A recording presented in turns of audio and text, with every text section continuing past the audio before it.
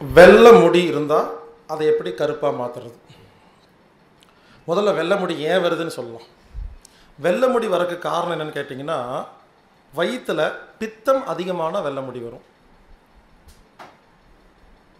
அடுத்தது pH value கம்மியானால் வெள்ளை முடி வரும்.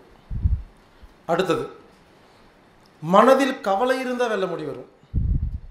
அடுத்தது சுகம் வந்தால் வெள்ளை முடி வரும். ஒவ்வொன்றா பார்க்கலாம். அது என்ன பித்தம்? சில பேர் காலையில் பல்லு விளக்கும் பொழுது வாய் வந்து கொமட்டுற மாதிரி இருக்கும். அதுதான் பித்தம். பித்தம்னு என்ன? வயிற்றுக்குள்ளே தேவையில்லாத குப்பையெல்லாம் கொஞ்சம் ஜாஸ்தி ஆயிடுச்சுன்னு அர்த்தம். அதுக்கு என்ன பண்ணணும்? மூணு மாதத்துக்கு ஒருக்கா பேதி சாப்பிட்ணும். பேதிக்கு சாப்பிட்றது எப்படிங்கிறத நான் அடுத்த கேள்வியில் சொல்கிறேன் இப்போது பேதிக்கு சாப்பிட்ணும். மூணு மாதத்துக்கு ஒருக்கா பேதிக் சாப்பிட்டா?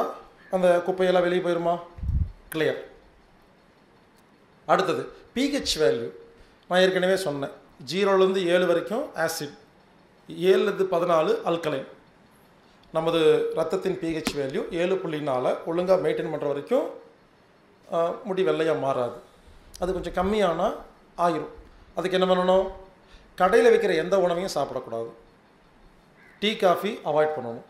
கூல் ட்ரிங்க்ஸ் எல்லாம் அவாய்ட் பண்ணணும். பீடி சிகரெட்டு தண்ணியெல்லாம் அவாய்ட் பண்ணணும். இதெல்லாம் பிஹெச் வேல்யூ ரொம்ப கம்மியாக இருக்கிற உணவுகள். வீட்டு சாப்பாடு தான் சாப்பிடணும். அது சாப்பிட்டாவே போது பிஹெச் வேல்யூ நார்மல் ஆகிரும் இந்த கூல் ட்ரிங்க்ஸ் எல்லாம் குடிக்கக்கூடாது. நார்மல் வாட்டர் ப்ளைன் வாட்டர் குடிக்கணும். முடிஞ்ச வரைக்கும் மினரல் வாட்டர் குடிக்கிறத விட்டுட்டு நம்ம வீட்டில் நம்ம சுத்தம் பண்ண நான் சொன்ன மாதிரி சுத்தம் பண்ண தண்ணியை குடிச்சிக்கலாம். இப்படி பண்ணோம்னா பிஹெச் வேல்யூ நார்மல் ஆயிரும். சரிங்களா? அடுத்தது. கவலை. மனதில் கவலை வந்தால் வெல்ல முடியாயிரும். அப்போ என்ன பண்ணணும்? மனதில் கவலை சரி பண்ணுறதுக்கு ஏற்கனவே சொன்ன மாதிரி விபாசனா ரங்கராட்ட ரகசியம் இதையெல்லாம் ஃபாலோ பண்ணி கொஞ்சம் க்ளீன் பண்ணிட்டோம்னா மனசு நிம்மதியாக இருக்கும். வெள்ளை முடி கருப்பாக மாறிடும் அடுத்தது சுகநர. அது என்ன சுகநர?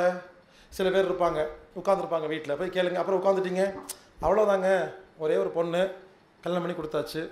யூஎஸ் செட்டில்டு நல்ல மாப்பிள்ளை. மருமக பேத்தி பேரெல்லாம் பார்த்தாச்சு. அவ்வளோதான் காடு வா வாங்குது வீடு போக போகுதும்பாங்க. அப்போ வெல்ல முடியாது. இனிமேல் வாழ்க்கையில் ஒன்றுமே இல்லை. எனக்கு ஒன்றுமே இல்லை. அவ்வளோதான் அப்படின்னு சொன்னோடனே பித்த ஓவர் ஆயிரும். அப்போ என்ன பண்ணணும்? ஒரு நாளைக்கு ஒரு முறை தான் சாப்பிட்ணும். நம்மெல்லாம் ஏன் தெரியுமா பசிக்குது? நம்ம ஓடுறோம் இல்லையா? அதை பண்ணணும் இதை பண்ணணும் அப்படி பண்ணணும் இப்படி பண்ணணும் அதான் பசிக்குது. ஒன்றுமே பண்ண வேண்டாம்னா ஒன்றுமே பசிக்காது. அப்போது வழக்கமாக வேலைக்கு போகிறவங்க என்ன பண்ணுறாங்க ஒரு நாளைக்கு மூணு நேரம் சாப்பிட்றோமா? ரிட்டையர்ட் ஆயிடுவாங்க அப்போ நாலு நேரம் சாப்பிடுவாங்க. வழக்கமாக வேலைக்கு போகும்போது ஒரு தோசையை சாப்பிட்டு ஓடி போயிடுவாங்க வேலை விட்டியே வீட்டில் சும்மா இருக்கும் பொழுது தான் ஏழு தோசை சாப்பிடுவாங்க. எனக்கு என்ன பண்ணுறதுன்னு தெரில அப்போ அந்த மாதிரி நேரங்களில் என்ன பண்ணணும்? ஒரு முறை சாப்பிட்டா அடுத்த பசி வரைக்கும் காத்திருக்கணும். ஆக்சுவலாக மதிய பசி வராது. காலையில் சாப்பிட்டு நைட்டு சாப்பிட்டா போதும். அப்போது வேலை வெட்டி இல்லாமல் வாழ்க்கை லட்சியம் இல்லாமல் சும்மா இருந்தால் வெல்ல முடி வரும். அதுக்கு காரணம் அளவுக்கு அதிக சாப்பாடு ஏன்னா லட்சியம் இல்லை ஓட்டம் இல்லை. இங்கே பாருங்க. வாழ்நாள் முழுவதும் நிம்மதியாக வாழணும்னா புது புது லட்சியங்களை சேர்த்துக்கிட்டே வாங்க. நிறைய பேர் என்கிட்ட வருவாங்க. ஒரு அறுபது வயசு எழுபது வயசில் வந்துட்டு உடம்பெல்லாம் வலிக்குது எலும்பெல்லாம் வலிக்குது உட்கார நிற்க முடியல. ஏன்னா வாழ்க்கை லட்சியம் இல்லை. இங்கே பாருங்க. வாழ்க்கை லட்சியம் மட்டும் இருந்தால் வீல் சேரில் இடுப்பு கீழே வேலை செய்யாட்டியும் அரசியல் பண்ணலாம்.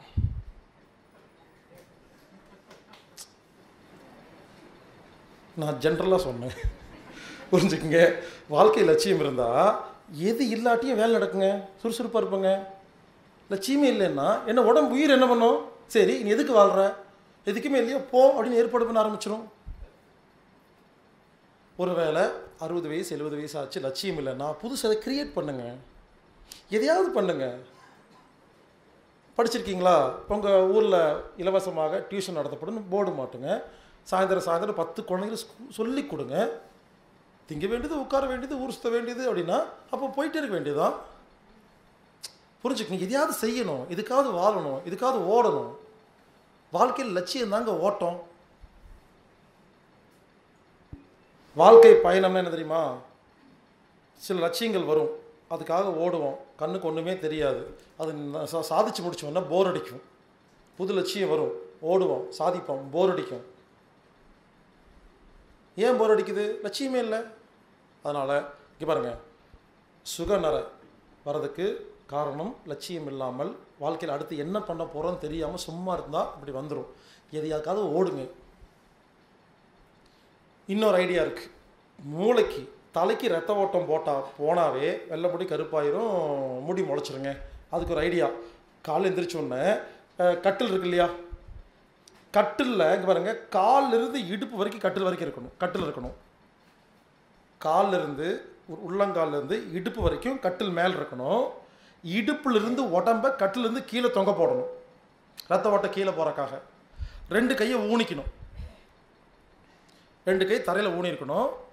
இடுப்புலருந்து உடம்பு கீழே தொங்கிட்டு இருக்குது. இடுப்புலேருந்து கால் மேலே இருக்குது.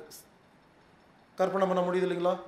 அந்த பொசிஷனில் இப்படி தலைகீழாக நின்றுட்டு தலையை சுற்றணும் ஐம்பது முறை வலது பக்கம் ஐம்பது முறை இடது பக்கம்.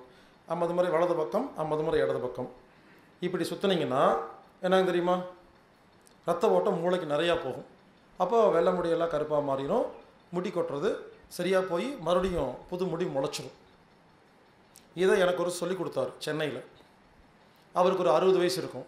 நேரில் பார்த்தீங்கன்னா நாற்பதுக்கு மேலே சொல்ல மாட்டீங்க. அவர் டெய்லி சுற்றிட்டு இருக்கிறாரு. சும்மா அதை சுற்றுறது இல்லை. அவர் சென்னையவே சுற்றிட்டு இருக்கிறாரு.